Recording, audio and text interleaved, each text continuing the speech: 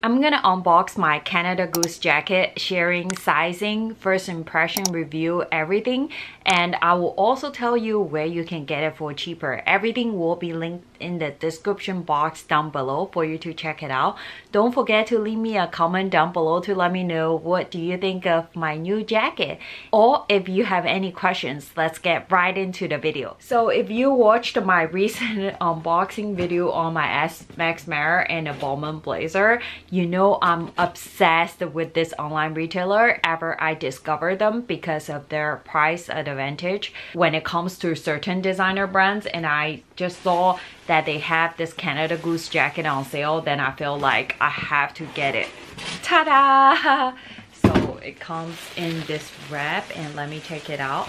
This is my Canada Goose jacket. It's called Hybridge Down Jacket. It's 100% feather down and made in Canada. It feels a really lightweight jacket, but it's really good enough for temperature between 32 Fahrenheit and a 5 Fahrenheit, which is totally enough for San Francisco. Because the lightweight and the breathable material is really good for outdoor activities for you to easy to move like hiking or city living and it doesn't look super bulky and it's really easy to wear. The elbow area and the, the armpit all added these different type of material to allow you to move easily. These are the neon lines on your arm and also the back of the jacket has these lines as well to be seen in a low light condition. Honestly, I have so many jackets in other colors so I wanted to get a red one to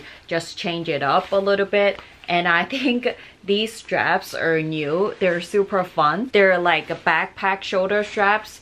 What it does is that when you are hiking or walking, you don't have hands for it. You're supposed to wear this jacket like a backpack just like this while you're walking. I guess this is something new from Canada Goose, right? I didn't know there any older jacket has this style. Also, this jacket is water resistant and machine washable as well. Inside, there's some pocket on the left side. These are just the tag said it's in the red color. Some authenticity information here. Sizing, so I'm about a 5'5 and a 105 pound and I researched online. A lot of people say Canada Goose jacket are true to size. So I took my same size. I'm usually wearing size extra small or size zero. So I picked this um, jacket in size extra small which turned out to be a perfect fit. And I also realized that if I layer something underneath I can still fit in this jacket in size extra small as well. So I do think it's true to size at least for me. So I'm gonna try on this jacket and show you how it looks on me